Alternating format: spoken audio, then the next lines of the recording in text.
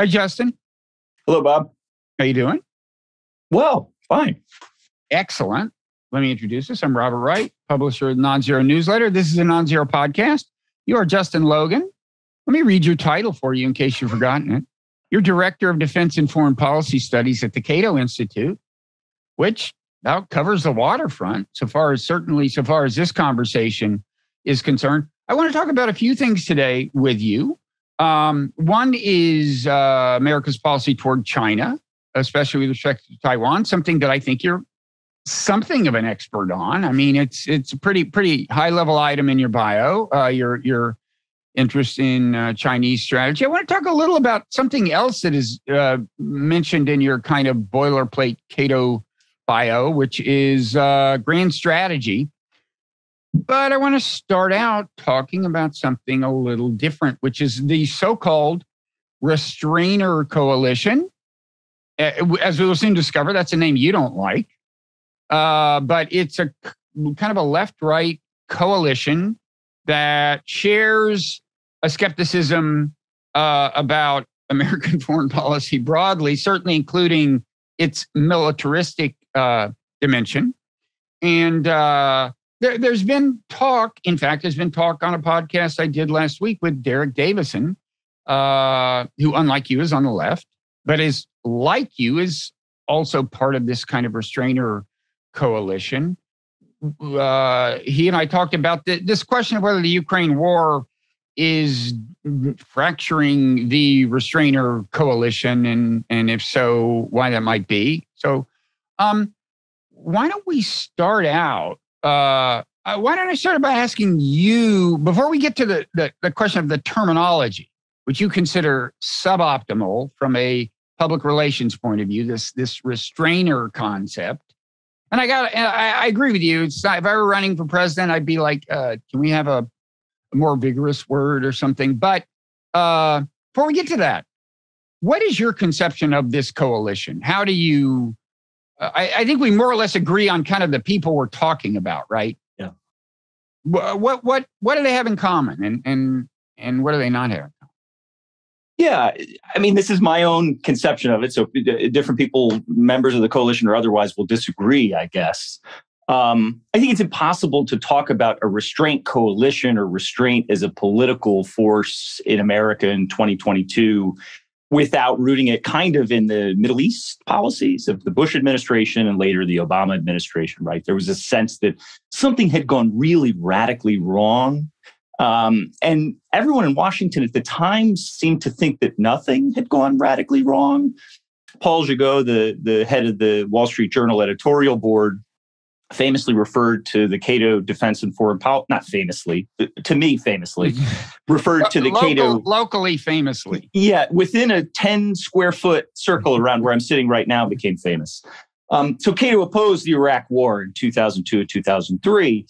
And someone asked Gigot, uh, it was actually Danny Postel in the American Prospect in 2004, why didn't you guys run articles from Cato in the Wall Street Journal saying, you know, maybe the Iraq war was a bad idea? And Gigot sort of sniffed and said, I, I don't know, think libertarianism has anything to say about foreign policy. Is is is it you know a uh, a real political philosophy or four or five people in a phone booth? I thought it was like a really great evocative. What is the phrase. answer to that question, by the way, Justin? Well, it, is it, it four kind people of in a phone like booth? four or five people in a phone booth at the time. That's really an accurate characterization of how it felt. But I think the fact that it is, it doesn't feel that way anymore, and I think you'd be kooky to characterize it in that way, suggests that there is kind of a, a burgeoning restraint uh, uh, constituency. So I think it's rooted in a sense that something went dramatically wrong in U.S. policy in the Middle East, and I think most members of this constituency think that that's not an isolated phenomenon, right? America has had these quirky ideological outbursts periodically every 20 or 30 years or so. Um, you could start in the Korean War, certainly the Vietnam War would be a part of this. And I think, you know, people in restraint say, you know, how do we keep blundering into these things? But I think as a political phenomenon, as a contemporary phenomenon, it's entirely rooted in reaction against, if you want to use, you know, sort of uh, uh anti right wing terminology. Um, you know, what went wrong in the aughts and early teens in the Middle East? So it did start out as mainly a reaction to policy in the Middle East, uh, you know, anti-terrorism policy, global war on on terrorism. And if that's the case, you know, if it started as this uh, insistence on ending the forever wars associated with uh, with that war, many of which, by the way, are still going on in various countries. You know, uh, whether as proxy wars or with limited involvement of U.S. special forces or with drone strikes or whatever. But leaving that aside, uh, the um, if it started out as that, it maybe is not so surprising that when something like Ukraine comes along, that's very different. Um, you might not have the same degree of cohesion that that you had.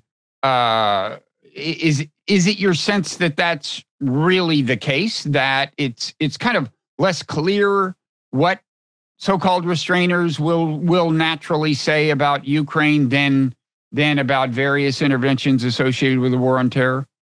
Well, I, I mean, I think you rightly in the conversation that you had with Davison um, got into this a little bit.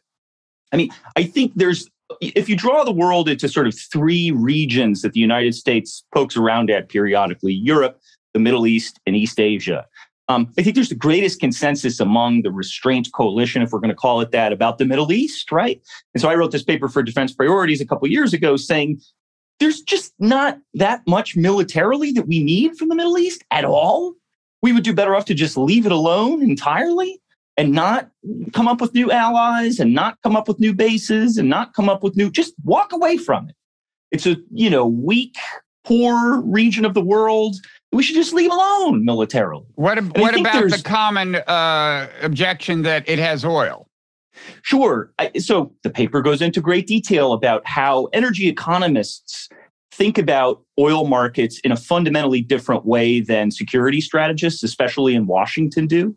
Um, energy markets don't work the way that people think they work. Um, so I, it will bore the hell out of your readers if I get into big discourse about what's wrong with the Washington think tank conception of how oil markets work. Um, but I would point people to uh, this paper mm. to talk about, you know, it's not the case that these um, the taps can be turned off easily. I guess mm. I would hmm. leave it at that. But there's a great amount of consensus about doing less slash nothing in the Middle East. And I think Europe and particularly East Asia, which it sounds like we'll get into a bit later, leave a lot more to be debated. And I think that as a sort of realist member of this constituency, it's very easy for me to hold in my mind that things that I find revolting mm-hmm. Are recurring features of international politics and that those things which I find revolting don't impact US national security in a meaningful way. And so you can still have a debate. Part of the virtue of being the United States is you can still have a debate about whether or what we should do pursuing to something we find revolting but is not fundamentally about us. We could yeah. do lots of things. We have that luxury. Um, but I do think that there's not as much meat on the bones of what to do in Europe or particularly what to do in East Asia as there is in the Middle East. Yeah. You, you use the, the, the term realist there. Maybe we should get into that just a little because you, you identified yourself as one of the realist members of the restraint coalition. But I think there are people who view the coalition from the outside and think of it as kind of broadly realist. And I do think there is part of, of realism that may be shared by people in the coalition. But why don't you tell me what you have in mind when you think of yourself as a realist in a sense that maybe distinguishes you from some other people in the coalition, if that makes sense? Or, yeah. Or if it yeah, doesn't, it just sense. say anything with the word realism in it. We'll move on we, we went from the the the, the really uh, uh, lively topic of how energy markets work to IR 101 from the University of Chicago. So um, I, it's clearly the case that there are people in the restraint coalition who are not realists, who are vehemently anti-realist. One of and them, what what makes them anti-realist or not realist? So my colleague John Mueller, late of Ohio State University, I think he's still emeritus there, and of Cato, right, thinks that the realist focus on the recurrence of war in international politics is misplaced. John thinks that war has basically been burned out of the international system. Humanity has learned its lesson. And you say, well, but Ukraine, John. So he's written a piece at Foreign Affairs saying Ukraine only proves the point, right? Um, it's almost a Norman Angell type argument that you know people say, well, Angell said that uh, uh, uh, war was was impossible, was irrational in Europe. No, he just said it would be counterproductive. Right. And John says the same thing, right? And so if people want to blunder periodically and remind themselves that war is counterproductive, that, that that's tragic and unfortunate. But anyway, so John is, you know, very much anti-realist. To, to my way of thinking, realists think that a number of fundamental so-called structural realities about international politics can explain a lot of international political outcomes. One is the so called condition of international anarchy, right? So in the hmm. United States, if you do something really bad, the government will come find you, right? And it's very difficult to take on the government frontally, right? There's a hierarchy, there's political authority right. that can impose its will. Whereas in the international system, we have the United Nations, we have very powerful states like the United States, but in a fundamental sense, it is anarchic. Not to say that there's chaos everywhere right. all the time. And and just to drill down on the John Mueller point, you you're saying realists view this anarchy and hence recurrence of war as more or less a perpetual feature of reality. And John thinks it can be wound down and is being wound down. John thinks that people have learned, and you know, I don't want to maybe I'm mischaracterizing his views here, but my understanding of John's views is that people have learned, particularly after World War II, right. um, that war doesn't pay, that war is counterproductive, or, or I think his recent book called it the stupidity of war. Right. Um, and so there's learning that has gone on at the individual level and at the level of statesmen even uh-huh. um, that people realize it would be really stupid for the united states and russia to have a war or really stupid for the united states and china to have a war mm-hmm. and so all this realist caterwauling about you know the risk of war is nonsense really and am I, am I right though that you think that that a realist believes that war is just basically never going to go away never is fairly extreme, but the, the structure of international politics makes it a recurring feature of international politics. Now, to, to sort of uh, uh, dump on my own side here, I think a lot of realists ran, went awry during the so called unipolar moment, right? A lot of realists were saying, oh, there's soft balancing against the United States. And many of them even denied that unipolarity was a thing. They said that, you know, in 1993 or 1994, we were in a multipolar world. Um, and scholars like William Wohlforth and the late Nuno Monteiro said, this is baloney. It's, you know, two minus mm-hmm. one is one, right? If we were in a bipolar system during the Cold War and the Soviet Union collapsed, two minus one is one. We're in a unipolar world. Um, and so I think a lot of realists made errant predictions and errant uh, diagnoses of international politics in the 90s and early aughts based on their misapplication of their own theory, right? Yeah. And so the, the sort of archetypal realist mooseheads, Kenneth Waltz, you know, would later say, unipolarity was outside the scope conditions of my theory. I didn't, I didn't say anything. I didn't conceive mm-hmm. of unipolarity. Mm-hmm. So if you haven't conceived of it, it can't be in your theory. Well, and by the way, this is a tangent, but Hans Morgenthau, a, a famous founding realist, said in his book Politics Among Nations, uh, it, it, would be consistent with realism if uh, technology so changed that it wound up. I I, um, I hope I have this right. That, that you wound up uh, with a world government and it kind of making sense for there to be a world government. A realist could adapt to that, but but but but but all of that aside, let me um, ask you a question about kind of applied realism, because realism, first of all, is this very complicated and, and internally diverse thing, but it has this descriptive side where it describes the way it thinks international politics work. Um, and then it has a, a prescriptive side. And I, and I think when, when some people think of the restraint coalition broadly as being realist, they're thinking of, of one one thing having to do with the prescriptive side, which is the idea that, look, the United States can't really afford to concern itself much with the internal affairs of nations. It is, it is, it's bad when human rights are violated. It's bad when there's suffering. But fundamentally, we have a world consisting of sovereign states.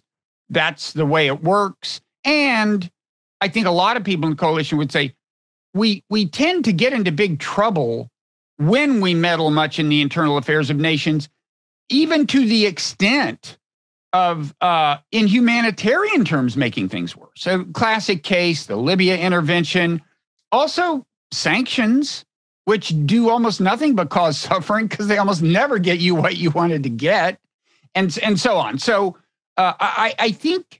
I, I think that's a isn't that kind of an aspect of realism and kind of characteristic of the restraint coalition broadly?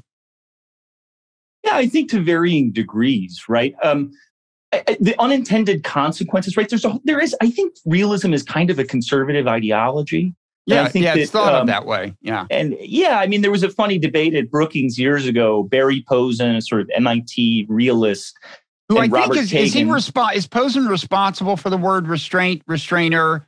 Uh, I think he wrote a no, book where it figured prominently. Is that not definitely? Don't blame him for restrainer. Um, Restraint. He, so he wrote a book in 20, I guess it was 14, uh, entitled Restraint, where uh-huh. he endorsed that word as the strategic. But it actually goes back to an article in the 1990s by students of his, Eugene Gholz, Daryl Press, and a colleague of his, Harvey Sapolsky, uh, entitled Come Home America. Mm. Um, that was a sort of, you know, and, and this was a popular idea among people like Jeane Kirkpatrick in the 1990s, right? Was it? People forget that they're, yes, absolutely.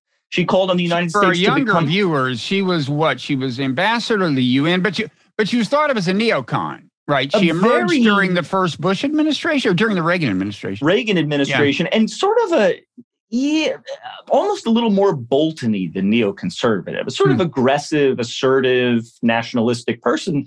She called on the United States to become, I think the way she put it was a normal country in normal times. Wait, right? when did she say this? So she changed? look.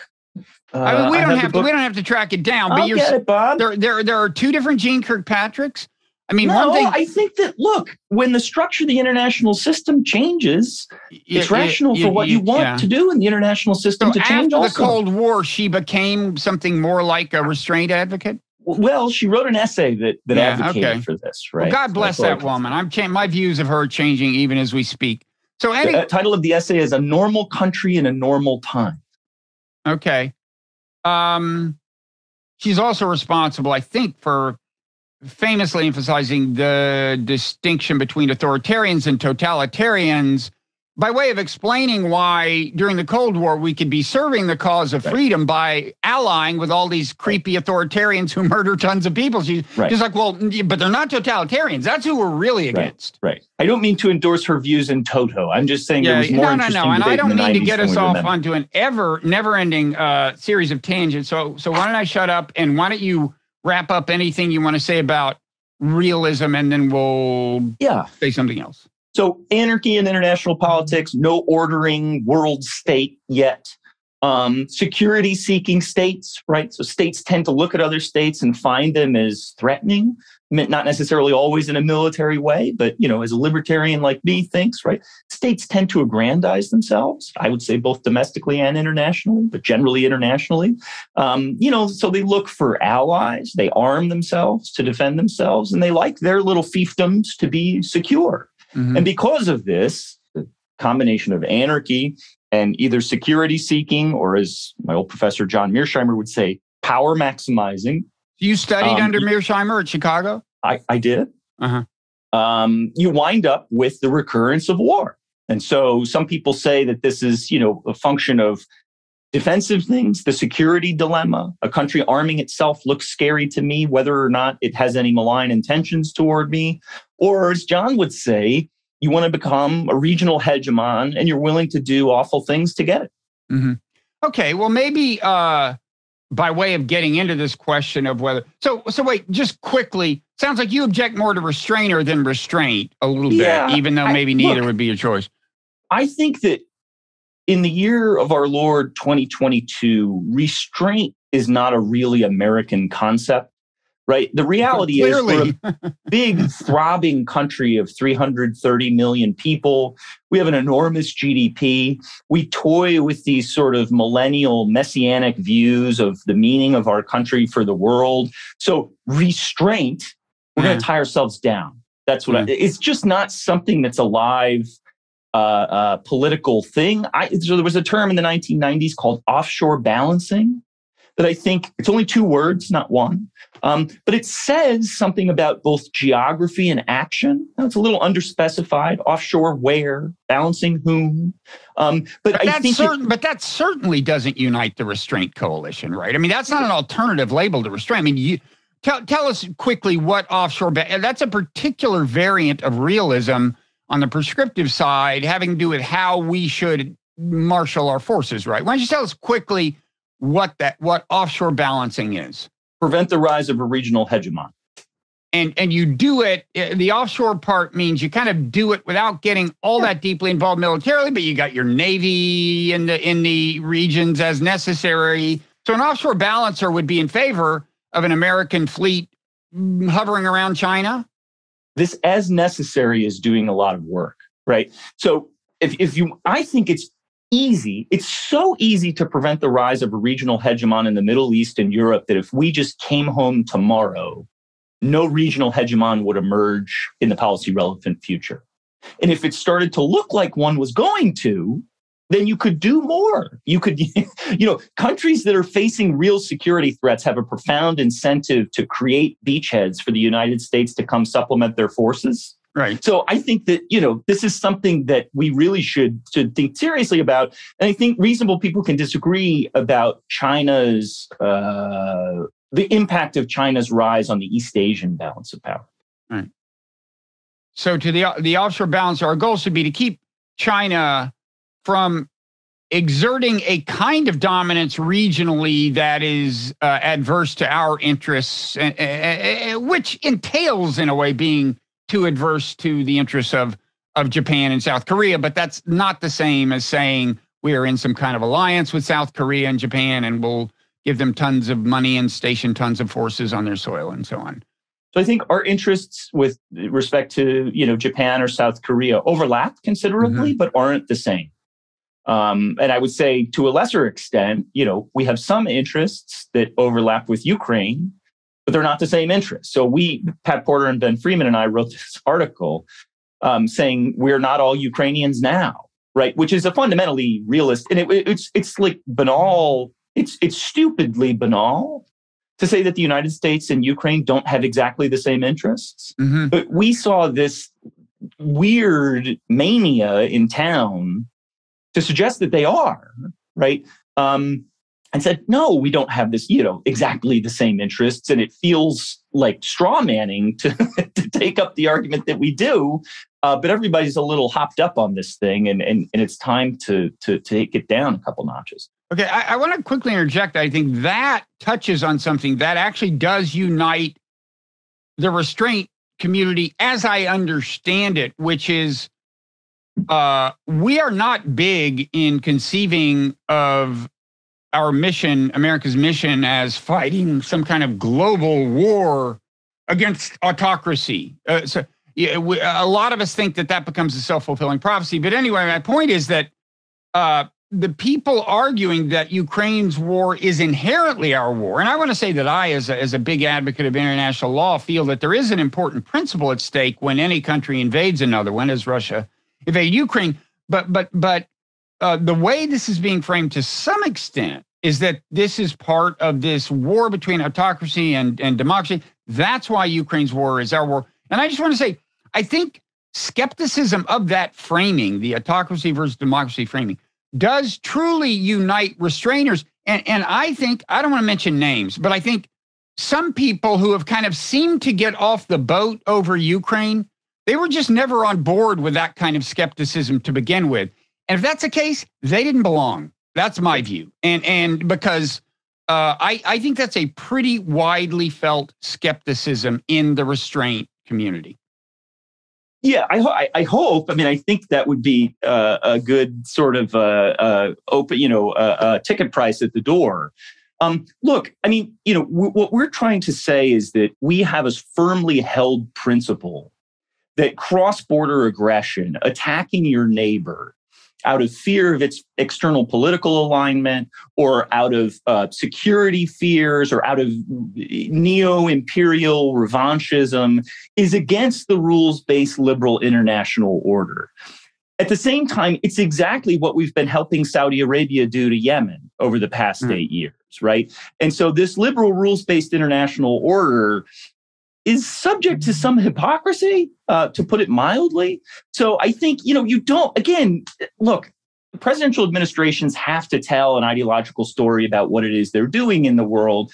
The danger is you don't want to get high on your own supply on this thing. Mm-hmm. And so, you know, you talk to people in the administration, you kind of hope you guys get this, right? You, yeah. you don't actually believe your own propaganda here, do you? And I think to varying degrees, uh, some of them do and some of them don't. Yeah, I think this may be a different uh, difference between some realists in the restraint community and some non-realists. Uh, probably not all on either side, but but I had a conversation with John Mearsheimer. People can Google it on YouTube about international law. And my view is we agree there's this huge hypocrisy going on that the U.S. repeatedly violates international law and repeatedly demands that everyone else respect it. But I think we should scrupulously abide by it, and John doesn't. He thinks we should come kind of close to scrupulously abiding by it. But when you got to invade somebody, you got to invade somebody. I mean, not that yeah. John was in favor of Iraq, the Iraq War; he was famously against it. Right. But but but I do think um, I mean, you tell me, are there many realists who agree with me that it is actually in our interest to nurture the global uh, norm of actually complying with international law, which would mean we consistently comply with it? There aren't that many realists who agree with me on that, right? I don't think that many realists would focus a lot of attention on cultivating the norm. Right. I think that a lot of realists say, as a practical matter, the United States is wildly secure. It's the most secure great power in history. The French ambassador of the United States during the Great War said that, you know, we've reached sort of El Dorado, right? We have weak friendly neighbors to the north and south and fish to the east and west.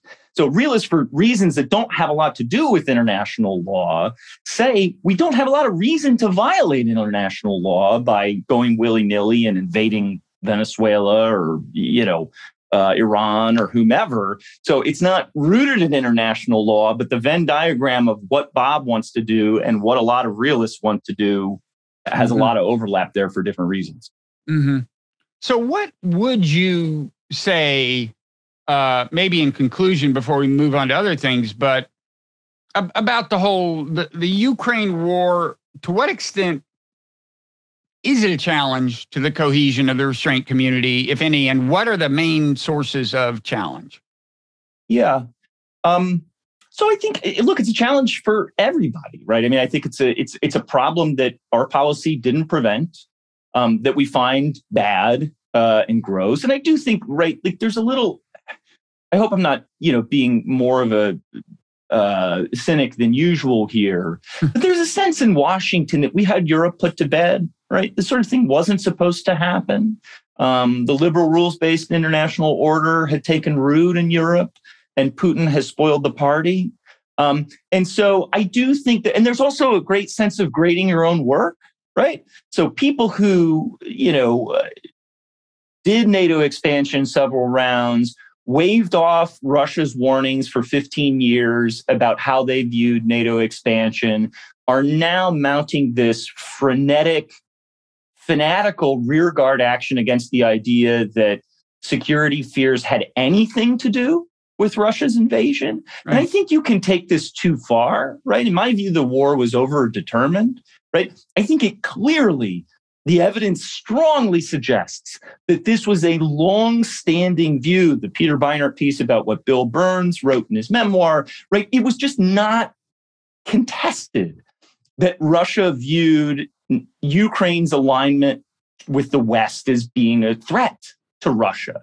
Right. It's also true that Putin has done a lot of fanciful historical analysis, has done a lot of denial of Ukraine's right to exist as a sovereign state. And I don't think you want to wave that off either, right? But these like imperial revanchist ideologies don't just emerge from nowhere, right? And so I think this idea, you know, and you pointed out in your piece, you know, this crazy speech that he gave at the beginning of the war, people say, well, it shows that NATO had nothing to do with anything of this. And as you pointed out, he mentioned NATO 40 times, right? Mm-hmm. So you could say it's not, it, we couldn't have fixed it by saying we're not going to stick Ukraine in NATO or U.S. military personnel on the territory of Ukraine.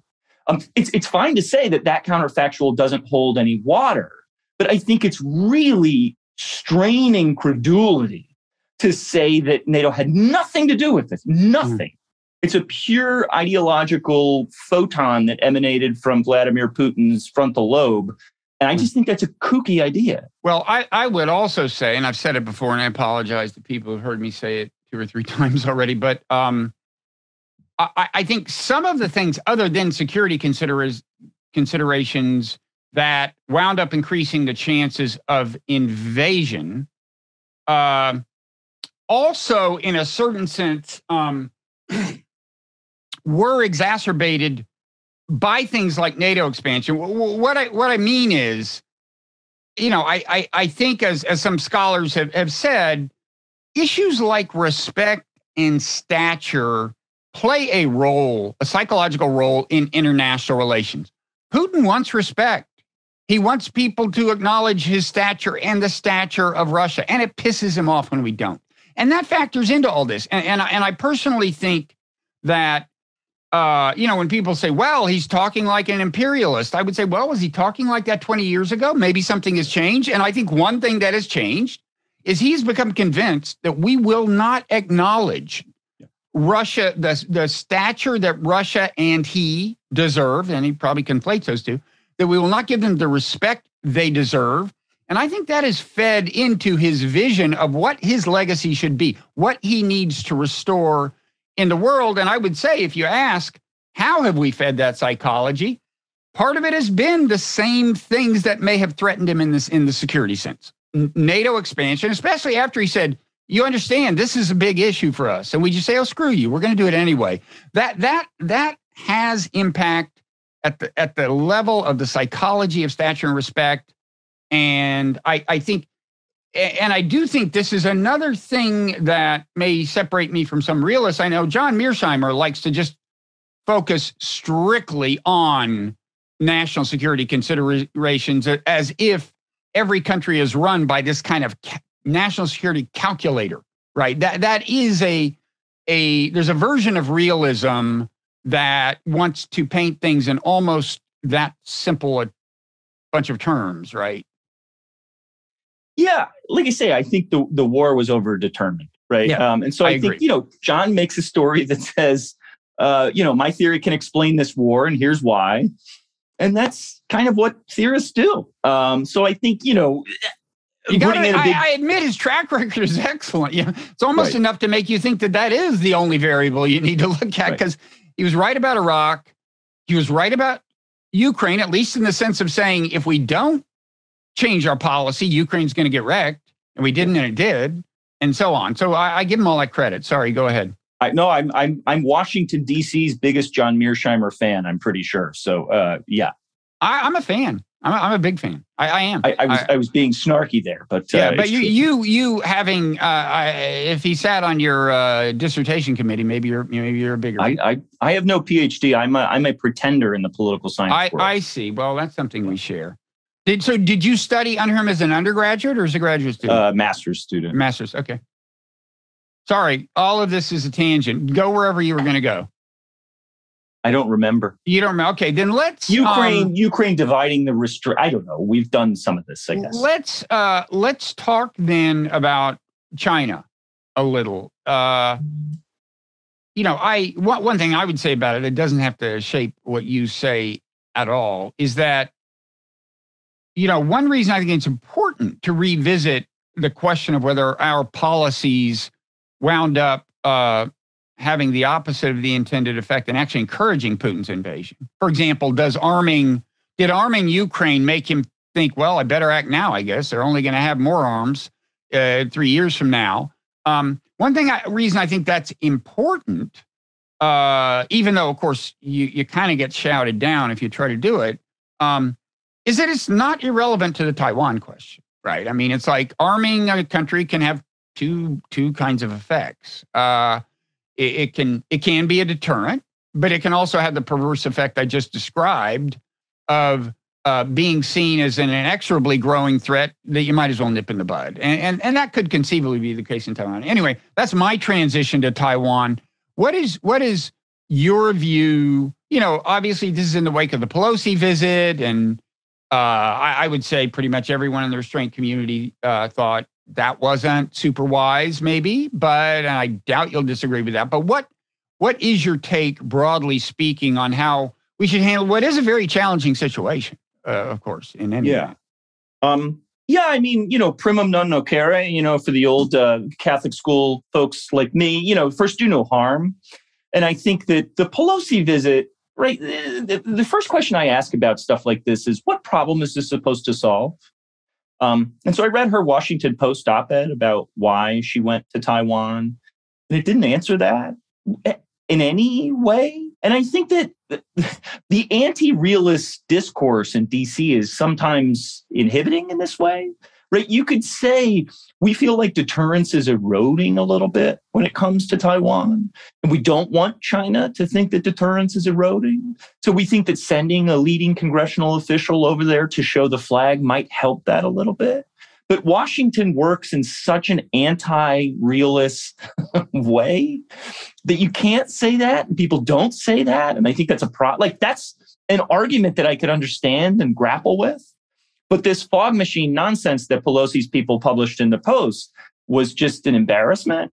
And I think it's quite telling that an awful lot of China hawks with whom I am conversant didn't think this was a great idea either. Um, it, because again, what problem are you trying to solve? You can yeah. advocate for a bigger navy. You can add for, advocate for a transformed Taiwanese defense posture. In 2019, I think it was, we sold them over a billion dollars in tanks.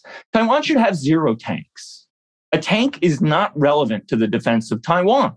So, for hokey defense industrial reasons, for hokey political reasons having to do with the Kuomintang's enduring dominance of the Taiwan Defense Ministry. Um, we sent them a bunch of main battle tanks. This is just a completely cockamamie idea.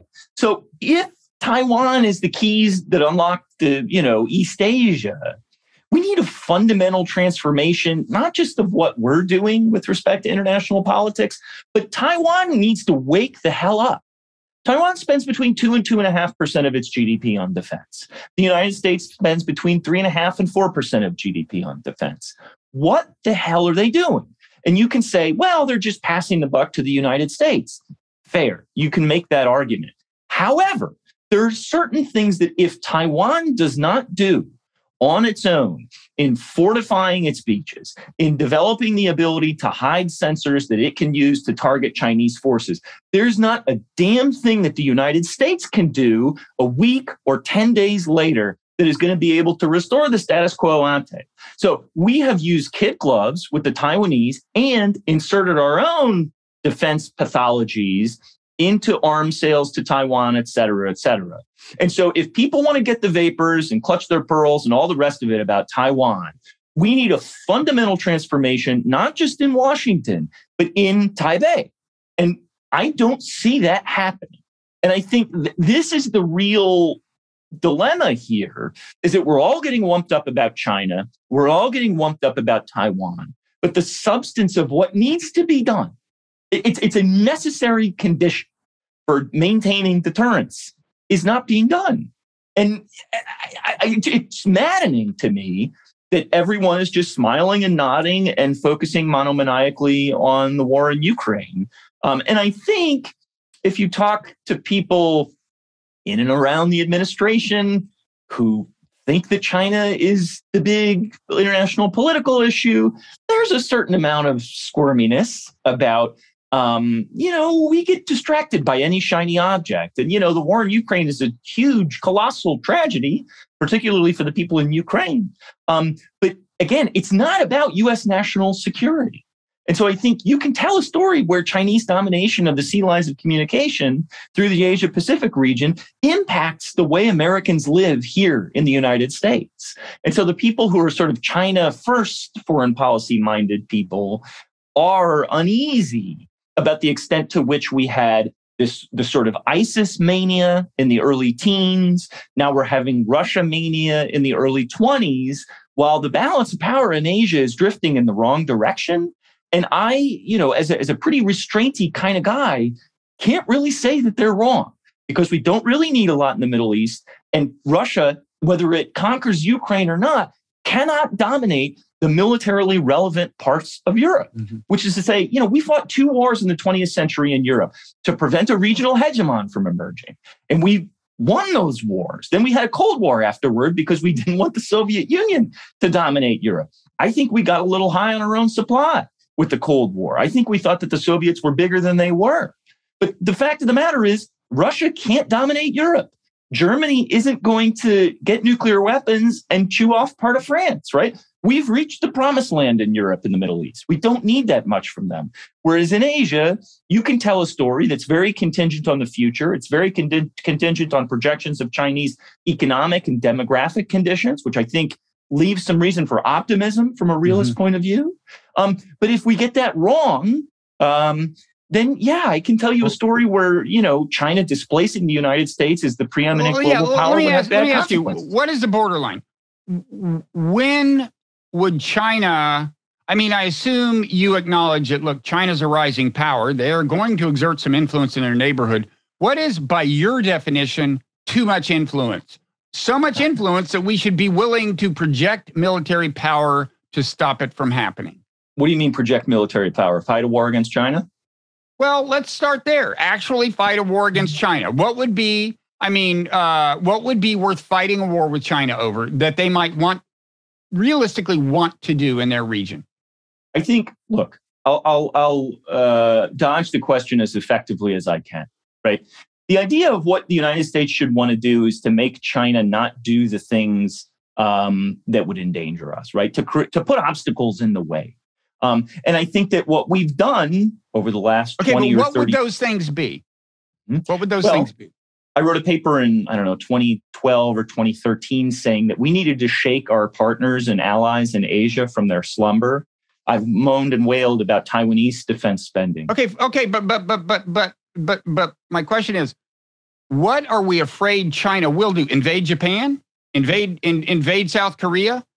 I mean, no, invading I, Taiwan is bad. But what what are the things they might do that we should definitely not let them do? Well, reasonable people can disagree about where that line. Let me. Uh, I'll sketch. Okay, but you must have a view, you. right? I have views. I'm very uncomfortable with the solidity of my views about where that line is. I would like to to to see Chinese economic growth slow considerably. I would like to see what I think is the demographic ticking time bomb in China go off. Um, I would like for them to have internal or regional uh, limits on what they can do militarily. But the, the, the fear that people have, and I, I don't have a perfectly well delineated view on when this becomes something that the United States should be willing to fight a war over, is that you know Japan is very dependent on international trade. It has no energy, domestic energy production. It has nuclear um, but it gets oil, etc., through mm-hmm. sea lines of communication, through the waters around Japan. And I think you can tell a story where if the plan, the People's Liberation Army Navy continues to grow at the rate that it's been growing, and if Japan continues to dilly dally as it's been dilly dallying, that Chinese military power would allow it to tell Japan when and where it can get supplies of energy from. Now, we've had that ability. That would be a pretty extreme action on China's sure. part. That would be, you're talking about like a blockade, an act of war? Yes. Well, that would be pretty extreme. I mean, and, and, you're sure. saying we should we should prepare the ground such that Japan itself can kind of keep that from happening in a way. so that that was what I advocated in this paper, you know, 10 years ago.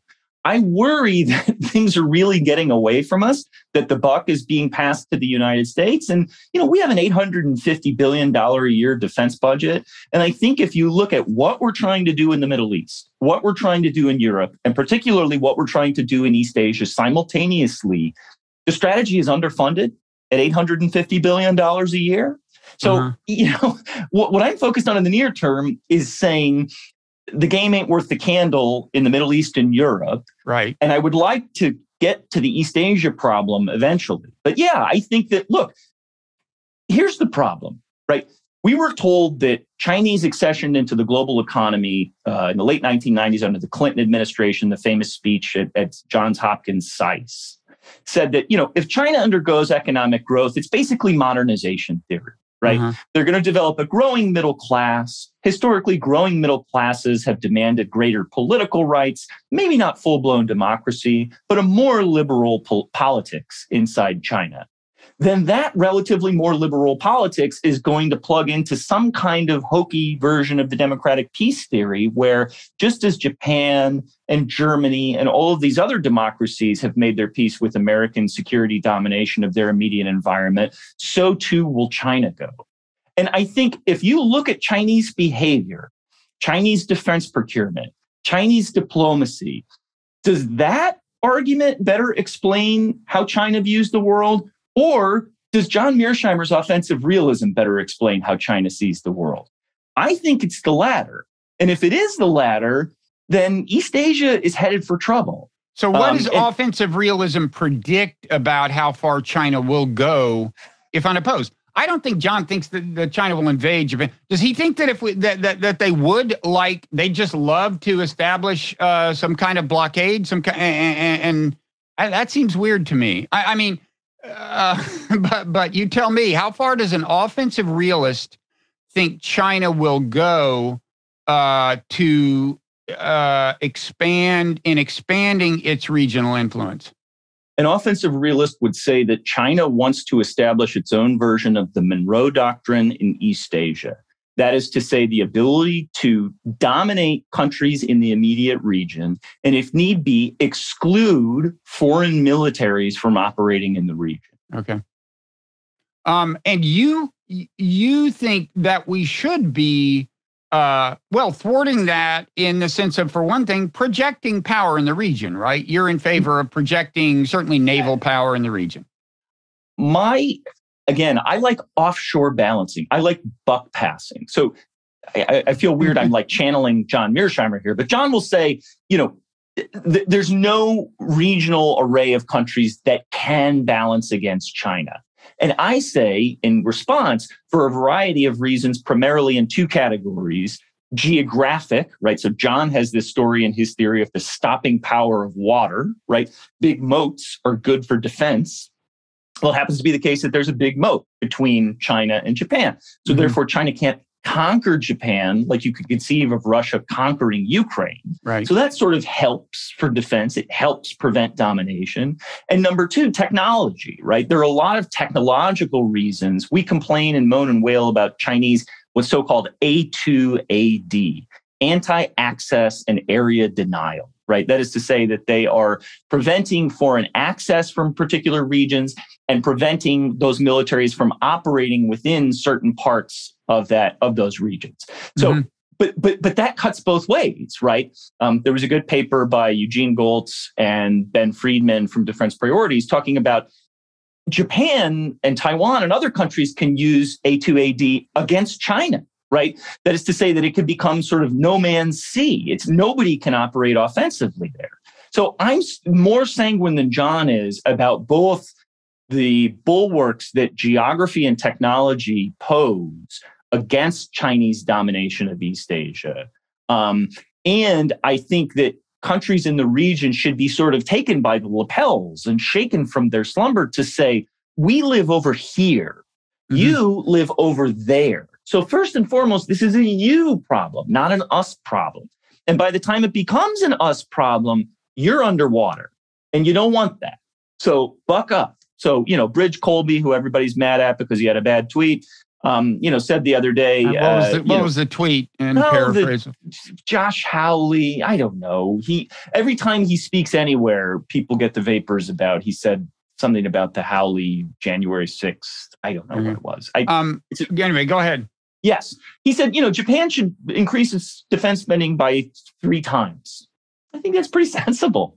Um, I think that, you know, so I'm a realist in the sense that I think China's a big problem, first and foremost, for the countries in the near vicinity of China. Mm-hmm.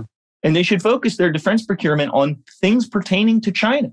Now, another thing that I think, you know, John doesn't pay attention to at every border, maritime or land, China faces geographic obstacles or political obstacles. So it happens to be the case that China claims two Indian provinces as part of its territory. Understandably, the Indians don't like this very much. And so we see recurring skirmishes on the land border between China and India. Um, everywhere China looks out, if you look at a map of China, it mm-hmm. faces a problem going out in every single direction. It has no allies to speak of. It can't rely on, you know, the military contributions of North Korea or, you know, Djibouti, um, where it is developing a naval base. So I think China faces a lot of problems. And we haven't even gotten into the demographic and economic problems that I think I don't want to bet the house mm-hmm. on coming to fruition. But demographics are really hard to change in the near term. And for the policy relevant future, the Chinese demographic picture is swirling the drain. Mm-hmm. Um, and I think for people who are worried about Chinese uh, political and military influence, that's a good thing. So you're looking at things from the point of view of, of China's regime. I think that's characteristic of realists to, to try to look at things from the point of view of all the players in the globe. I think it's uh, pretty much characteristic of people in the strength community. As you know, it gets you into trouble it gets one into trouble, speaking as someone who's gotten into trouble, uh, in that people think you're kind of justifying, like as soon as you start saying, well, you know, they, they, uh, China, they don't have any friends, they've got problems. Right away, I can hear people saying, oh, you're defending them being so assertive about the disputed territory with India. And you know, I would say like, well, wait, the only reason they have a problem is because they're disputing the territory, you know, like, but, but, um, but anyway, this you take my point. This is this is an issue that realists and restrainers, so-called restrainers, face. Right? It's a rhetorical, it's a political issue, but it's an issue. Look, I no, I I think I don't agree with your characterization. It's just a fact, right? that, that China claims two Indian provinces as part of its territory. That I'm, I'm not uh, yeah, but you did. But, but I just mean in saying, look, you, you were saying kind of, look, China doesn't have any friends. Everywhere they look, they see trouble. You you are looking at. I mean, I assure you, there is someone out there listening who was starting to say, wait, you're defending their aggressive policies. No, I'm I'm no, stating, I guarantee it. Yeah, well, let's stipulate there well, is me, someone me, out there saying that. What do you say I, to them? So normally I would say I do understand how someone would say that my descriptive analysis of international politics is somehow an endorsement of right. a particular state's behavior in international right. politics. But in this case, I, I, don't think so, right? I'm stating obstacles that uh, China faces to pursuing regional hegemony. Mm-hmm. Now, I'm not saying that they should or shouldn't be pursuing regional hegemony. I'm kind of suggesting that my view of international politics would suggest that they would. Right. But I'm not justifying it any more than I'm no, justifying. Of course. I mean, I obviously see your point of view, right? Yeah. I, I, I know you're not justifying it, but, but just, my point is this is a this is a tactical problem for realist restraint. You see it big time in Ukraine because the whole yeah. idea of going back and saying, you know, I think some US policies unwisely increased the chances yeah. that Ukraine would be invaded. The whole idea of that is to say, wait, you know, we should have said to ourselves, if you're Vladimir Putin, you know, you might see this this way and this yeah. that way, and you wouldn't have to be crazy to see it that way. Yeah. And I think that's what we should say. We should explain why our policy was unwise. I'm just saying, as a practical matter, you do that and you take all kinds of shit from all directions. Yeah. But people saying, wait a second, you're you're repeating Putin talking points. It's just a fact that this is part of the environment that realists and restrainers face. Yeah, I mean, in that in the Russia Ukraine case, I certainly see it and have have heard gotten my share of of that uh, opprobrium. But I think you know to get back to your point about realism and description and mm-hmm. proscription, um, right? Like physics has a lot to say about architecture, right? So physics is observing the physical forces that exert themselves on life mm-hmm. on planet Earth and, as we know, elsewhere, right? And so if architects decide that aspect of physics is kind of bullshit, I'm going to go my own way and build the building that I want right. to build.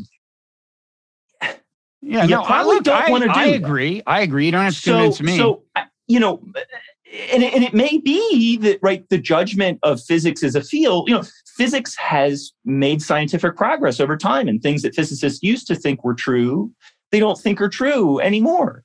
But you want to get the basics of the physics right if you're Mhm. going to build buildings. And so my view is that I want to have an understanding that's rooted in reality about what is driving actors to behave in the way that they're behaving, first and foremost. And secondly, whether there's anything that I can do to alter those influences on their Mhm. behavior. So Right. it is a little clinical and it's a little, you know, the my favorite thing about Obama was that he was cold and professorial. People hated that about Right. him. So, you know, I, I I that's how I think. And I think a lot of times like my story doesn't have a good guy and a bad guy, right? Um, and people like good guys and bad that guys. will get you into trouble Yeah. too. Um, so, you know, it's not a philosophy of shit happens, but shit does recurrently happen. Happen. Yeah. The let me let me uh, ask you just one more question about China. Uh, do you think that the U.S. Navy, in, what it's doing right now, in terms of kind of where it's insisting on the right to take its ships and where it's kind of asserting that right by taking the ships there, and I don't even know the details of this at all. But do you think we, we've got it about right? It's a good question. Um, I worry that our claims on behalf of ourselves are outstripping our capabilities. And that, as a realist or, or hopefully anyone, would cause you to worry, right? Um, so we have a very forward leaning, we're getting ready to sail naval vessels through Taiwan Strait. Mm-hmm. Um, do, do you, you know, I want there to be enough money in the account Which to cover is any check that I write. international water under standard interpretation of, of international law. Yeah but again, what problem are we solving? Right? What what what problem does this Well, solve? People would say we're solving the problem of uh, people insisting that international law not prevail, and that's an important principle. That's what they would say. I don't even think that's what they would say. Well, that's what a more enlightened version of them would say. maybe maybe the, the the the Bob Wright Defense Department would say that. I don't know what I'd say. I don't know anything about the region, but uh, that's what the more enlightened version, by my lights, of them would say. Yeah. Um, no, I mean, look, if it's not clear, I'm pretty conflicted on this one. Um, because I think that, look, you know, my kids are nine and seven. I think if you draw straight lines on Chinese economic growth and Chinese military power and US economic growth and US military power, it's not a super happy picture. I mean, I guess, you know, the question for people who who don't think it's a big deal is, you know, at a fundamental level, does power matter in an important way in international politics? Would it matter in international politics if 30 years from now, China were a much more powerful country than the United States? I think it would be. Um, I think that military power purchases a lot of prerogatives in international politics. And people who, you know, if they believe that those lines are correct, have to tell me some kind of story about, you know, I mean, obviously, in many cases, they're going to say the lines are incorrect. But in another case, how it doesn't matter. Yeah. Um, and I think, you know, I'm afraid that I think it, it, it does matter. Um, let me. uh, I want to drill down a little on something you said about Taiwan. Just to be clear, uh, you were you were talking pretty precisely about the kinds of armaments and defensive technology China should uh, Taiwan should be marshaling. I, I think. Um, you know, I read a, I read a, a, piece in the New York Times. It was back from like April, and it said, "Well, uh, the Biden administration is taking the lesson of the Ukraine war to be that we should arm Taiwan, you know, more robustly and and make them a porcupine that's hard Mhm. to swallow. And the first thing I thought is, well, that's kind of ironic because we did that with Ukraine and they did get invaded. But then somebody pointed out to me, like, well, maybe maybe the, the idea is now that we're seeing how much trouble Russia is running into by virtue of porcupine type technologies like shoulder fired anti-tank weapons and and, and anti-aircraft stuff um, that China would pay attention to a Taiwan that was so armed.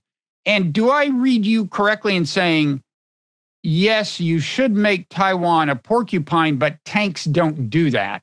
I would have thought tanks might do that, right? It's like because Taiwan, if they're really, if China's really going to take Taiwan, they got to occupy it at some point. Got to send people in. Tanks can kill people that come to your island. Uh, I don't know, but, but are you saying basically yes, porcupine, no tanks are not porcupine quills? Yes. Okay. So the you know Ukraine taught us right geography matters a lot. Um, it's just it's very hard to defend Ukraine's border with Russia. Mm-hmm. It's very big. It's very easy to surmount um, with armor uh, and things like this. So, you know, I mean, this is what we learned, I would have hoped, in the first half of the 20th century. You know, geography matters an awful lot. Um, and Taiwan's geography is mountain and coastline. And, you know, by the time they get into the mountain, I mean, tanks are not relevant in mountains and they're not relevant in coastlines. Um, so they're, and especially, right, if you're freezing in amber, this idea that Taiwan's going to spend, you know, 2.2 or 2.3% of its GDP on defense, maybe if they get to 8 or 10%, you know, we might throw in a tank or two for good measure. But the very basics that Taiwan needs to deter uh, with a reasonable level of certainty, which is a foggy bullshit term that you'll hopefully let me get away with, um, to add deterrence to China. Um, they need to do a lot of things that they're not doing, having to do with defending the beaches. Um, mm-hmm. And I think, like, you hear some defense people offer really hokey um, views that you know China has uh, uh, uh, non-military vessels that they're going to use to ferry troops across the strait, or they're going to land troops via helicopter.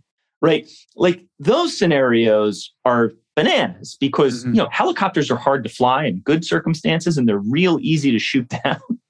Um, so I think that you know there are some hokey scenarios, but there are a lot of scenarios that you know the the the, the beaches on the west coast of Taiwan need uh, to be bristling um, with weapons, and they're not currently bristling with enough weapons. And I think that the balance is tipping pretty dramatically against Taiwan. And that's what goes back to this argument that I made about whatever the US commitment is or is not to the defense of Taiwan if they screw that up badly enough, it's not going to matter. Mm-hmm. And to my eye, they're screwing it up badly enough. Mm-hmm. Um, and that's that. That's the sort of sine qua non problem. All the stuff about how many carriers we have or the nuclear balance is is just irrelevant if Taiwan screws up badly enough. And to my eye, they are. Uh, okay. Final tai- uh, Taiwan question is. I have, as somebody who admittedly is not that well versed in the relevant material, I have been of the view that in the long run, the if China really wants to take Taiwan at any cost, uh, and uh, th- there's no way in the long run the U.S. military can prevent that without resorting to nuclear weapons. And, and what I mean there is, yeah, we could maybe win a skirmish now, uh, but the effect of that, I think, would be to make China redouble its efforts to build up its military and its determination to take Taiwan. And in the long run, Taiwan's a lot closer to China than to us, and they care about it a whole lot more. And they are vastly more powerful than Taiwan itself, and so on. And so it seems to me when people talk about, well, no, we can do this. We can, we can, the US military can keep China from getting Taiwan. My view is in the long run, no. Uh, is that is? Do you agree? Uh, well, you know, a lot of this long run stuff turns on your assumptions about Chinese growth, right? And I have mine.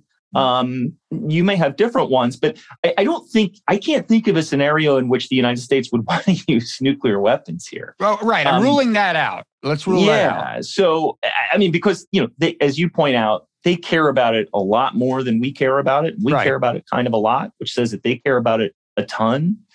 Um, and it's geographically closer to them. So yeah, um, I think a lot of it has to do, I don't know about forever. Let's talk about 20 or 30 years.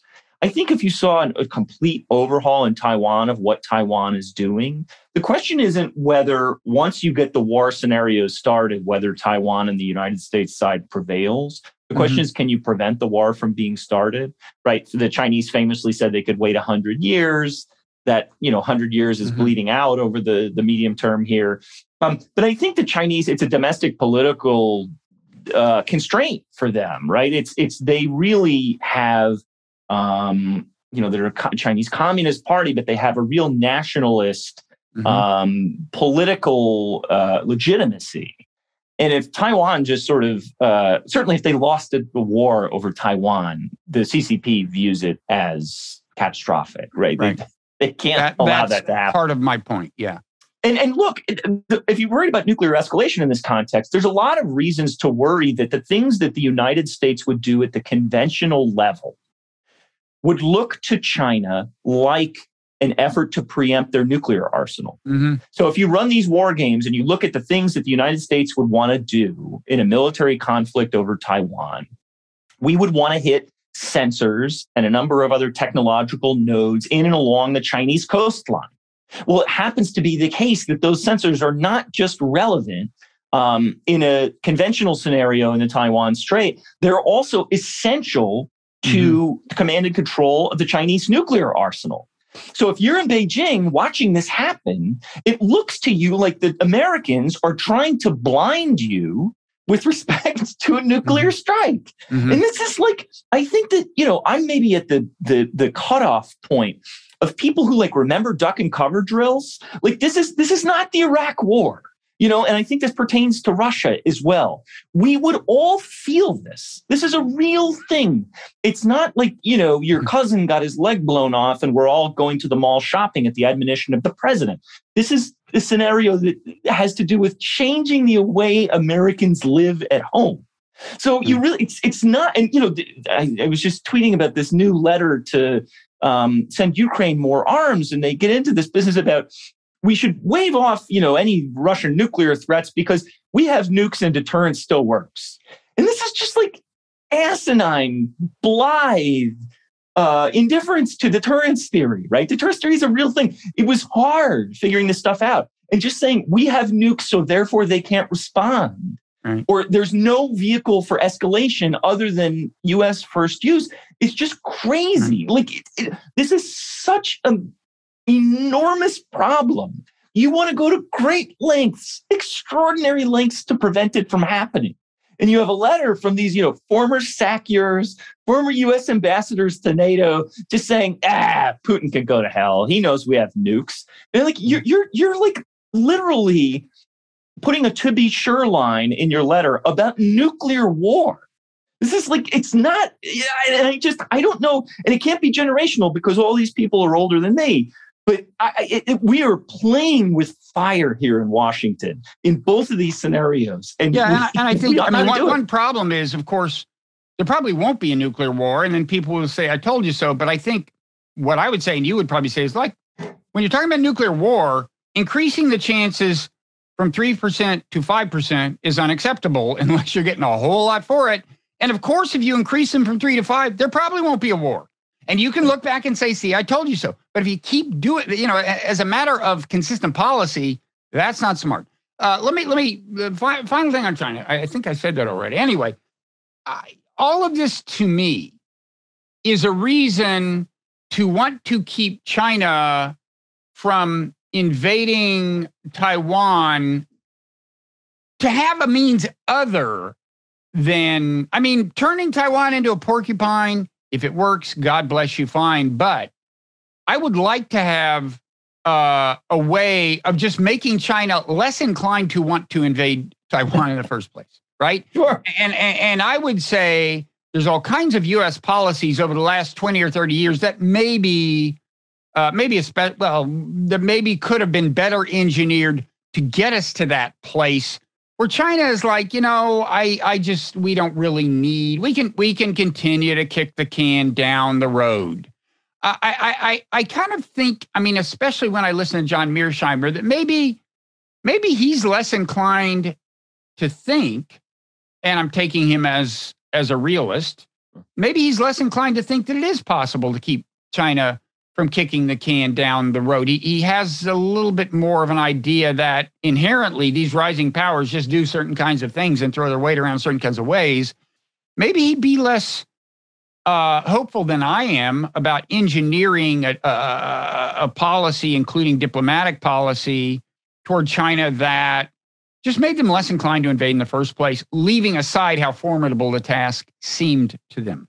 Uh, am I right in thinking that yeah, there's a certain kind of realist that just doesn't uh, doesn't think I'm going to have much luck down that path. Or am I wrong? Am I wrong totally about Mearsheimer and realists and everything? Why don't you give the short version of your argument, and I'll see if it uh, clears the hurdle. Well, my argument is just uh, it is not a fact of nature that China, ev- sooner or later, will have to actually possess Taiwan.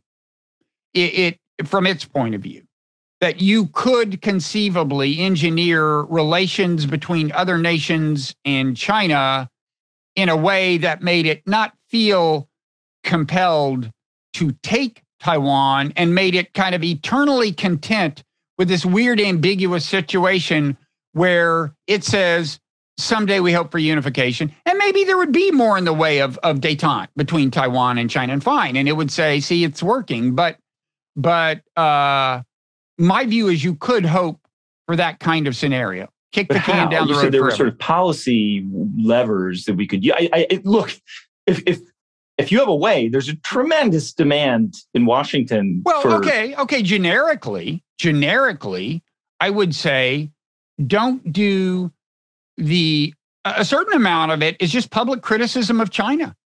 I, think that that uh, that strikes the nationalist chord Mhm. in China.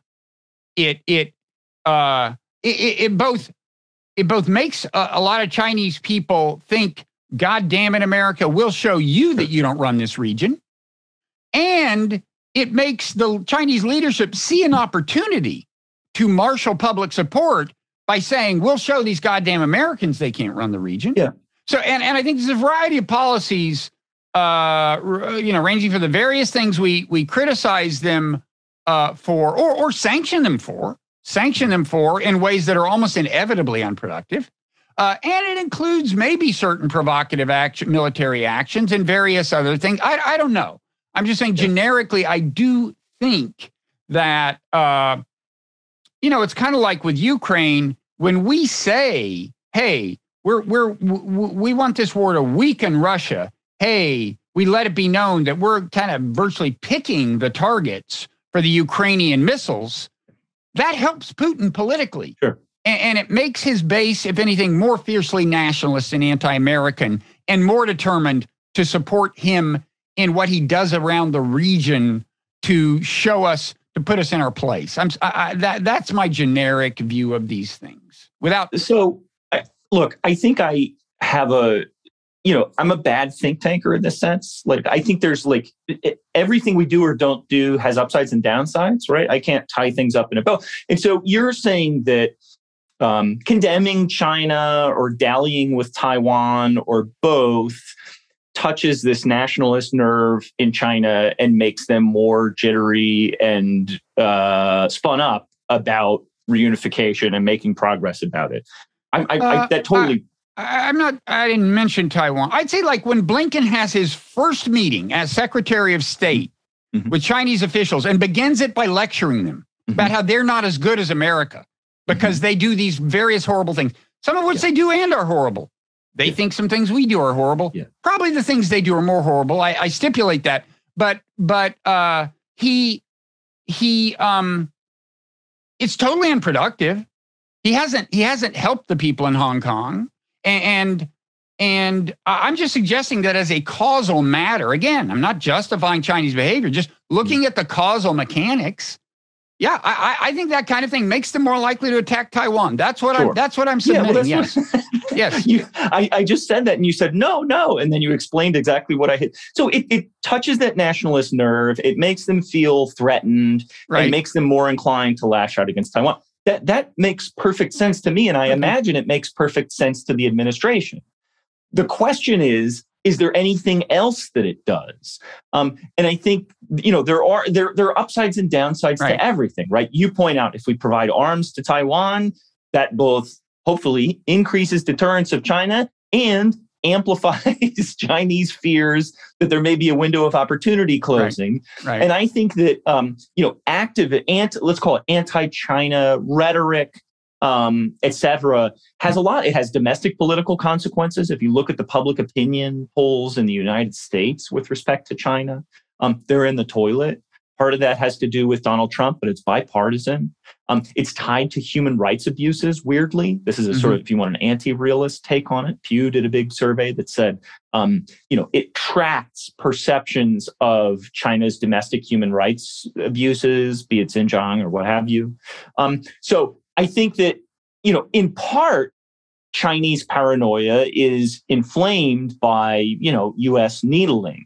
But it's also the case that during periods where we haven't done a lot of needling, if you look at the Chinese defense budget, if you look at the Chinese behavior in the South China Sea, they don't seem super quiescent or benign during those periods either. Mm-hmm. Um, so I, I think that ascribing it primarily even to US policy is probably overdrawing it. And part of the reason I say yeah. that is because I think there are good security reasons that China would want to own Taiwan. Um, I, I, I think as a you know uh, uh, military See, that, that, that's that's maybe what I'm saying, and I'm not saying that the Chinese aggression is entirely a product of U.S. criticism by any means. Yeah. I was asking a generic question, like do do some realists think it's just a fact of nature that China is going to want Taiwan? And I think you've you and, and or could we do various things, including this one thing about toning down some of our rhetoric to make that less likely? And I think you've just answered my question, kind of like you're saying, no, you think as a matter of national security calculation, yeah. Uh, they're going to want Taiwan, and and and I I I can imagine arranging uh, relations with China in a way that that just didn't seem like a big security issue with them. I guess that's maybe one difference. I mean, why should they if they don't consider Japan? I mean, Taiwan's close or fine, but I I don't I don't know. I I don't. Uh, as a national security matter, I, I Look, just think. So- so, so you're me, saying me, if Taiwan, if there were no history of Taiwan yeah. ever being part of China, you're saying they'd still have to take Taiwan? I'm not saying they have to. I'm but as a security, have, me- that's the question. If you're saying it's a security calculation, let me. So I just outlined to you ten minutes ago how you know in the worst case scenario, the People's Liberation Army Navy would grow to a point that it could blockade Japan, right? right? And that would be bad. And Japanese people should be pretty freaked out about that. Well, you know, you're big on non-zero sum, not thinking about everything as zero sum, right? Mm-hmm. And I and I think that's good, and people should be, you know, trained and acculturated to do that. But not everything is positive sum. And I think no, not, lines, there's a lot of zero sum interaction in the world, yeah, including in international relations. Yes, sea lines of communication are one, right? So either we control China's sea lanes, they control them, or they're contested right? There's no mm-hmm. cooperative way to uh, distribute military command of the so called commons. And for the same reason that the Japanese would be anxious about the Chinese being able to blockade them, the Chinese are anxious about the United States' ability to blockade them, be it through the Malacca Strait or in their green or brown water. So, what are they doing? They're trying to push us out of their green and brown water, and they're trying to overcome this so called Malacca dilemma, right? So, this is, it's just, there's no way to positive sum your way out of a fundamentally zero sum question. Well, if they didn't case, consider us as threatening, that might change their calculation. I mean, that's why I keep asking: is it, is it the sheer proximity of Taiwan? Like by your calculation, we should invade Cuba, right? Because it's close. It's close to us. Who knows? No. Do you think that if no, we don't invade Cuba because we're not. We don't feel threatened by any of the various powers that, in principle, could try to use Cuba to attack us. We don't feel threatened. If and that's Chinese, why we don't feel a need to attack Cuba. If if the Chinese or Russians, and I say this with a historical mind, mm-hmm. were cooperating in military ways with the communist government on Cuba, right. it would send the United States. But that's the question in, I am asking you. If we changed yeah. the sense that we are hell bent on Taiwan being a de facto ally, sure. would that lessen the Chinese incentive to invade Taiwan? That's so, my question. So, if the United States pulled out of Asia, right? You're saying there's no Chinese ah, or there, no there Russian. Are things, sure, that's a little too binary. I'm saying if you lessened the sense of threat and saw how they responded to that, no, but, and gradually moved relations toward a less threatening. Eh, see, this is what I really think realists just think. No, the world's always going to be a jungle. It just, you can't do anything. I really think that's a realist impulse that I personally strongly resist. Yeah. So, but the Cuba, you raised, you, you know, the sort of the question of Cuba, right? Yeah. If there is no Chinese or military, uh, Chinese or Russian Yeah. military cooperation Right. with the government on Cuba for a reason, historical. Right. It's it's sort of overdetermined, right? We have the Monroe Doctrine. It But back says- when there was, we felt threatened and we behaved differently toward Cuba. That's my point. absolutely, and once they were out, we left Cuba alone. Right. So but to but I'm just saying, I'm, I'm, that uh, yeah, but I'm not saying maybe we should just pull everything out right, uh, right away immediately. I, I'm that's the saying of- I, I'm saying maybe we should experiment with lessening the sense of threat incrementally and seeing if China reciprocates and we can like communicate about that and get to a better place. But in this scenario, Taiwan and Japan and South Korea become Canada and Mexico and Costa Rica. And and that is uh, you know a fundamentally different world and you know for understandable reasons the Japanese and the Taiwanese and the South Koreans don't like pushing in all their chips on that bet. Not today. They, they they're not going to say, "Here's all my chips today." No, but but look, you don't have to be uh, a student of history to see that slowly over time, tectonically, relations change, and former enemies are now allies. It happens, and I Sure. think I I think actually, if our for, if our foreign policy weren't so screwed up, we might actually think about that as a goal. Crazy as it sounds, No, our allies have certainly come and gone and ebbed and flowed. They're not determined by domestic regime type or anything else. They're determined by American aims in the world, right? Um, and so, I, I agree with you that that you know relations change. I just think it has a lot to do with uh, the balance of power internationally. And if you look at that over time, I think that explains better than. I mean, look, you're you're making a very John Mueller point. I think you and John are very. oh, synced I'm up I'm closer to John than to Yeah, John Mearsheimer on this Right. for sure. I'm somewhere in that mushy middle, Bob. Oh, well, we can leave it there and hope that you slowly uh, move in my direction. Uh, I, I guess, you know, we should wrap this up. I'll give you a chance to say anything else you want to say, but, but I, I should say that uh, well, I don't think we've found us, with all due respect for the phrase offshore balancing, I don't think we've found a satisfactory replacement for the word restraint or restrainers. Uh, both because I don't think offshore balancing is something that everybody in the restraint community would embrace, and because I think, frankly, it's not a very sexy term. Uh, but uh, but uh, I I would steer people who are curious and like, what is this restraint uh, coalition? You know, go to the Quincy Institute site. I have uh, in the fa- in the past I've turned I've used the term Quincy coalition because it is in fact the uh, the institutional embodiment in Washington of this kind of transpartisan. No, no, no. You're, you're- so we should say to uh, audio listeners that that Justin is pointing to the ground, meaning no, the Cato Institute. No, Justin, I'm saying that the Quincy Institute is the incarnation of the left-right coalition. Cato is on the right. The the, the Quincy Institute. I mean, you're not going to deny that, right? I mean, are, are you going to come out for Bernie Sanders? That would be news. No, no. I mean, Cato doesn't do. Well, we have Bernie. Sanders fans at Quincy, as well as uh, libertarians, as well as Buchananite conservatives. Who are the That's what- libertarians at Quincy? well, but who are part of the coalition. I mean, I just heard, I just, I, I was just listening to a Scott Horton podcast, and he was praising Quincy. He feels Yeah. like part of the effort.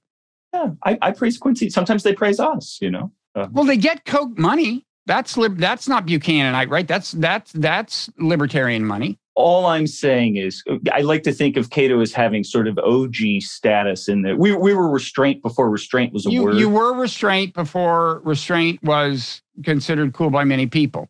yeah. but you are not the restraint coalition you are one of several uh of several elements i would say right We're all one of several elements. oh come on i mean you take my point right the the whole point of this what's interesting about quincy is it is a left right coalition that is united by certain beliefs about foreign policy cato is part of the right of that Our coalition. enemies- fine Enemies call us the Quincy Coalition. So you are you are in good oh wait company. hold, hold that up uh, who else Yeah. used that term you're holding this piece up Deudney and Ikenberry. Oh, they use the term in that. Look, I like Yes. John Ikenberry, but I Yeah. got to say that was not a well-informed piece. I thought in terms of what the coalition actually uh, represents. Yeah, I wasn't I wasn't yeah, I, I, sort of thought I could have wrote, written a better denunciation of myself than than they did. Yeah, no, they were they were using it as a term of abuse. But you know, a lot of uh, a lot of terms of abuse wind up being adopted. The Big, Big Bang was a, a term of abuse, term of hmm. derision for the Big Bang theory. But now all physicists believe it. So just and then you had neoconservative, which went the other way, which was a sort of passe term that neoconservatives used to refer to themselves, and then suddenly became an anti-Semitic slur. So, yeah, they're not. You know, um, uh, they're not using it so much anymore. Well, you know, Mark. I mean, they, I mean, I think what you mean is they said it was an anti-Semitic slur. Uh, that was no. I mean, the, they published books in, with titles like "The Neoconservative Reader." Um, then a bunch of right. their scholars advocated remaking the Middle East by invading Iraq. People thought that was sort of dumb in retrospect. And then if you called people who advocated invading Iraq neoconservatives, they said you were being anti-Semitic. Right. That's what I mean. Is once once uh, it became a term of uh, denunciation, they tried to make it an illicit term to use. Right. If that makes sense. Okay. Uh, well, listen, thank you. Uh, anything else you want to say about this, by the way? Um, no, I just on the China question, you know, at a fundamental level, what you want to ask yourself is if in 20 or 30 years, China were much more powerful than the United States, do you think the world would look different in a meaningful way? And if so, how? And yeah. that's sort of a first way. And I, you know, in case it wasn't clear to anybody that was following along, I'm kind of of two minds, at least two minds about the question, right? Like I think you know, um, fighting a war with China would be really bad, and conceivably China taking over domination of the international system also bad. So we're stuck in these. You know, I have a sort of you know again this sort of Catholic school view of the world um, that it's a tragedy, and we're trying to manage triage this uh, international political system. Okay, I didn't realize it was a Catholic view of the world. Uh, but I can, yeah, I can see that. Um, uh, Mearsheimer grew up Catholic, didn't he?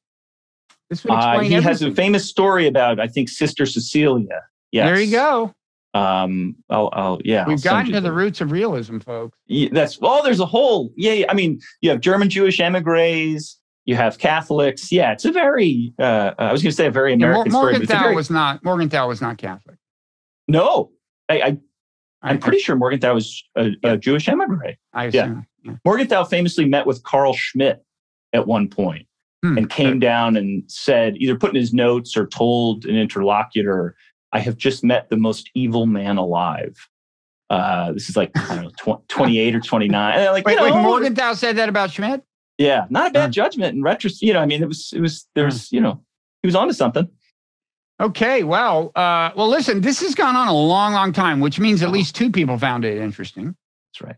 Uh, and maybe more will. So thank you. Where, where can people, uh, they should go to Cato to find some of your stuff. What's your Twitter handle?